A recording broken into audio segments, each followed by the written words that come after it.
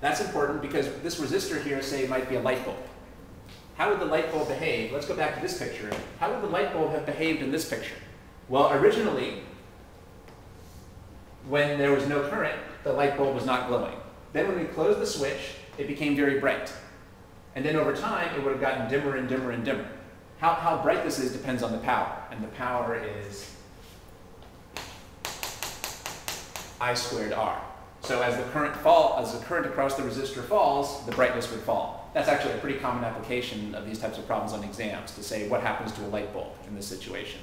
So the practical effect of this current falling here is that the light bulb would jump to a very bright brightness, and then over time it would get dimmer and dimmer until eventually it got to no brightness at all when the current stopped. And what's going to happen to this light bulb over here now? Well, again, when we close the switch, it's going to pop into maximum brightness, but then as, less, as fewer and fewer positive charges are around, there will be less and less current going through it until eventually it'll get down to, to being not, uh, not lighted up at all.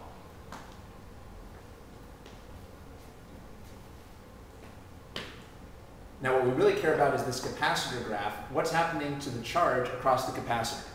Well, remember that we started with a fully charged capacitor. It got charged up in this picture. So at time zero, it's fully charged. Now what's going to happen to the amount of charge on the capacitor over time? It'll start to decrease. Right, but it can't just jump. It takes time for the charges to get out of here. So it can only decrease continually, continuously. Eventually the charge is going to go to zero. Eventually all the positive charges will be gone, at least in the, in the limit, asymptotically, but they can't just teleport away. It takes time for the charges to move. So what's going to happen to the voltage across the capacitor? It'll also decrease. Remember, that's a good answer. The voltage and the charge are proportional. The graph of the charge also tells you what's happening to the voltage. They won't be the same numerically, but they'll have the same picture. That's why I can put V and Q on the same graph here.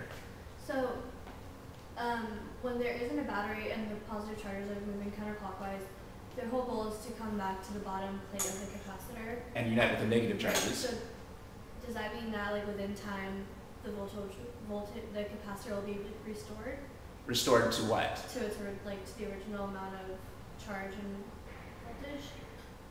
Oh, are you, um, well, it's going to be, right now, for example, right now there might be, say, positive 10 coulombs on the top plate and negative 10 coulombs on the bottom. Right. And at the end, the there will be zero coulombs on the top and zero coulombs on the bottom. I think what you might have been thinking is that we would go from positive 10 coulombs on the top to positive 10 coulombs on the bottom, but no, because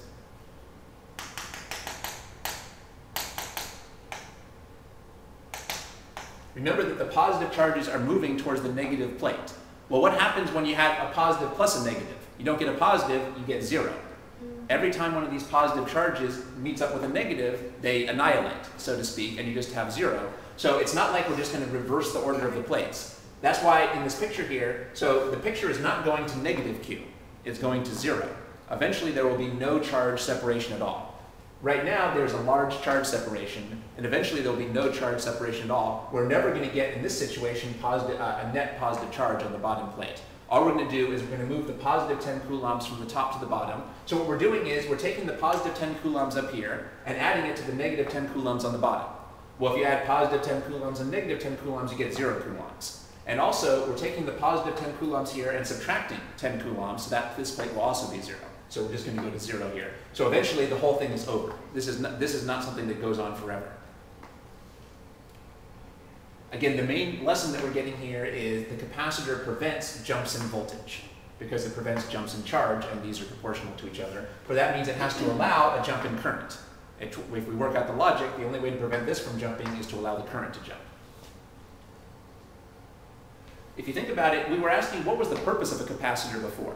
Well, we said the purpose is to store charge. Why would anyone want to store charge? Well, remember that it's like a dam. A dam stores water. Why would anyone want to store water as an energy source? You pile up water behind the dam, and then when you need the energy, you let some of the water out. And that, that powers whatever electrical appliances that you have. Well, it's the same deal here. We piled up a whole bunch of charge on this capacitor, and then if we need some energy, we close the switch and let some of the charge out, and that powers this light bulb over here. So this is almost like, it's like making the capacitor into a little battery. You can see that the capacitor, it was almost like acting like its own little battery.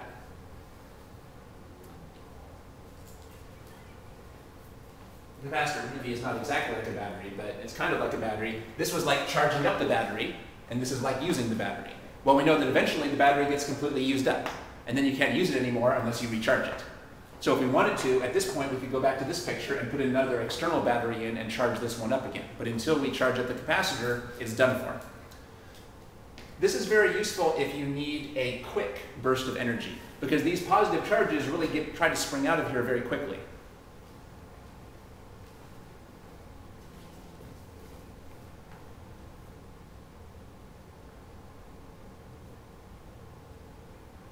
For example, I believe that the uh, common example is the flash bulb in a camera.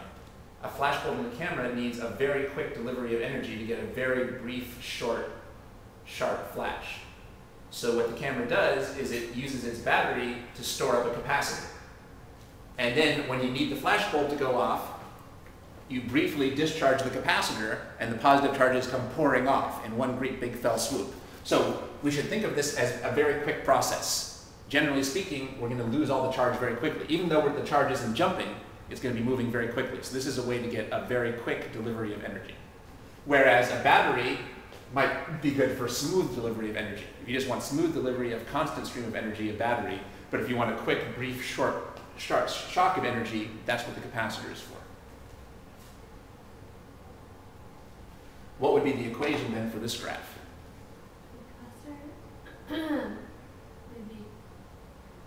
Capacitor. Ah, what, what is our asymptotic equation? Like this. Now, is the charge here asymptotically increasing or asymptotically decreasing? So it would be Q equals Q max E to the negative T over R. It wouldn't look like this, because these are the equations for asymptotic increase, and we need the equation for asymptotic decrease.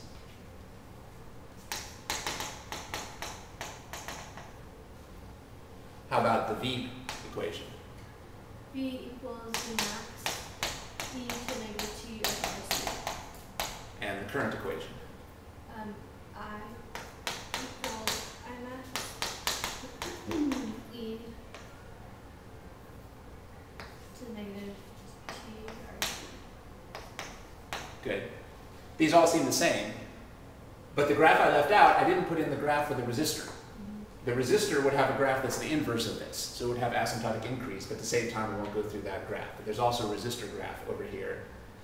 Notice that over here we had these equations for a capacitor, and here we have these equations for the capacitor. People get confused, what's the right equation for a capacitor? Well, they're different because this was a charging capacitor, and this is a discharging capacitor. Well, it makes sense that when the capacitor is charging, you need the asymptotic increase equation for the charge.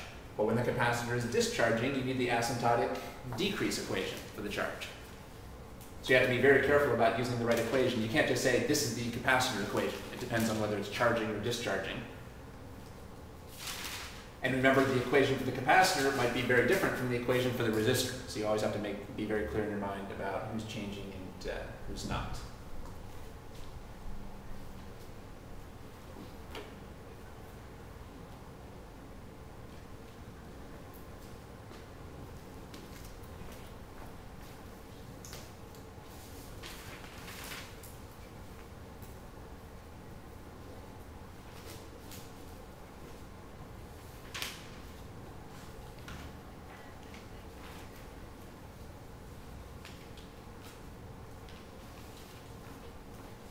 All right, well, those are the basic ideas we need to understand for a capacitor. The key thing we saw with the capacitor is, who does the capacitor prevent jumps in? Voltage. Voltage and charge. Good. And we saw that the capacitor is a way of storing energy. Ah, so we need another equation. How much energy has the capacitor stored? I don't know if you remember seeing this equation. This is the equation for the potential energy that's stored in a capacitor, 1 half CV squared potential energy in a capacitor is 1 half CV squared.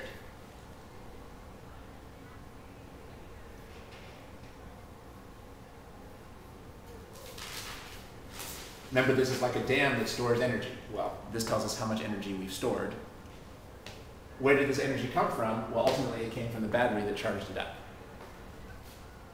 So while we're charging the battery, while we're charging the capacitor, we're storing energy in it, and then we can allow it to discharge and use it as a battery. That's why I said earlier that a capacitor can be either a voltage source or a voltage drop. While it's being charged, this is the voltage drop that's dissipating the voltage from the battery. But now that the capacitor is acting like the battery, so to speak, this is the voltage source.